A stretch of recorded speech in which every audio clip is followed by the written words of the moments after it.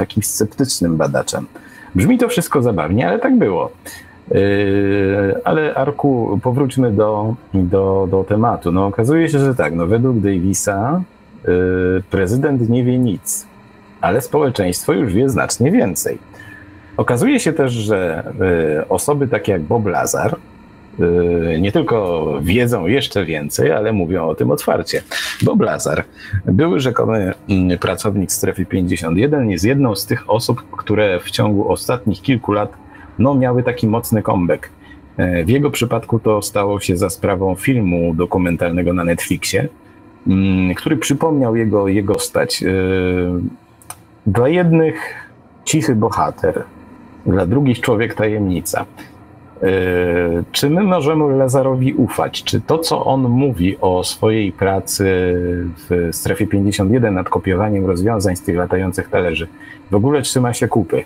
Czy może mamy do czynienia z takim bardzo sprytnym mistyfikatorem, który po prostu na wymyślonej legendzie no, zarabia jakieś tam dodatkowe pieniądze?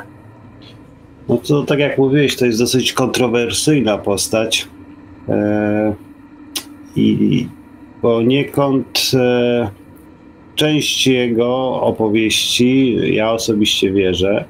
E, a to dlatego, że on podczas tej początków tej, tej swojej działalności ujawniającej jego pracę zabierał ludzi w pobliże właśnie tej strefy 51 wtedy, kiedy właśnie przelatywały obiekty, które nie wydawały dźwięku, a mm, światło się przemieszczało i, i, i on o tym doskonale wiedział, kiedy jechali na konkretną godzinę. Jeszcze wtedy ta strefa wokół mm, strefy 51 nie była tak e, poszerzona, że dało się to jeszcze obserwować.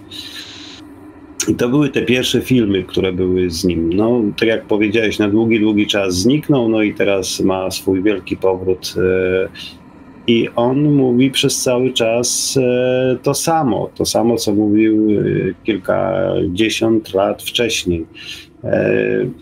No więc wydaje się, że, że tak, ale bardzo z drugiej strony wiele osób, chcąc zaistnieć w tym ufologicznym świecie, E, podaje się za byłych e, pracowników strefy niezwiązanej z UFO, tylko przy okazji tam pracowali. No wiadomo, potrzebni są tam między innymi też chociażby podejrzewam, że sprzątacze czy ktokolwiek inny. I oni również e, latali tymi e, samolotami z tą czerwoną e, taką e, z czerwoną taką listwą wzdłuż, znaczy pomalowaną wzdłuż e, e, okien samolotu, co chyba jety były, tak one się nazywały, Jet Air. E, I oni rzekomo pamiętają, jak Bob Lazar latał razem z nimi, że skądś tą postać znają, ten, ten tą fizjonomię, tylko po prostu tam już na miejscu po wylądowaniu rozjeżdżali się w różne strony do swoich zajęć i jeden drugiego nie, nie wiedział, co robi drugi. E, spotykali się tylko podczas właśnie tych przelotów. No, strefa 51 jest niezamieszkała, jest tylko e, działającą bazą, a wszyscy pracownicy byli wożeni bodajże z e, E, Los Angeles czy z Las Vegas e, właśnie w to miejsce. Wożeni, to znaczy przelatywali samolotem i, i tam już na miejscu tej bazy, bazie byli rozwożeni. Przez jakiś czas można było nie wierzyć w to, że istnieje pierwiastek, o którym on mówi, ten 115, E, jak, poda, jak podają rosyjscy, e, rosyjskie badania, ten pierwiastek istnieje, chociaż jest bardzo nietrwały.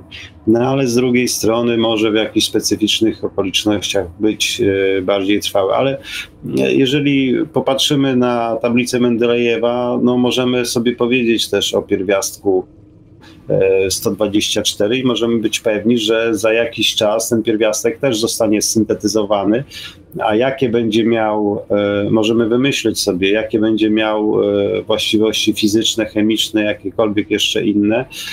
E, I, i nic, to jest tak jak bycie astro, bio, astrozoologiem. Można wymyśleć wszelkie możliwe potwory żyjące na innych planetach. Nikt nie jest nam w stanie zaprzeczyć, no bo nikt takiego potwora nie jest w stanie e, opisać e, czy zanegować jego istnienie. To samo z tymi pierwiastkami. Dlatego mówię, no to jest postać dosyć kontrowersyjna. E, no, z tych pierwszych filmów, z tego, że nie ujawniał swojego, swojej, e, e, swojego imienia i nazwiska, bo to wypłynęło dopiero później. E, na początku były to takie ujawnienia w programie telewizyjnym, gdzie było widać go od tyłu, albo w ogóle nie było widać, tylko sam głos, jeszcze na dodatek zniekształcony celowo, żeby nie, nie, nie, nie utrudniać mu tam życia no, wy, wyszły jakieś dokumenty dotyczące, dotyczące jego zeznań podatkowych,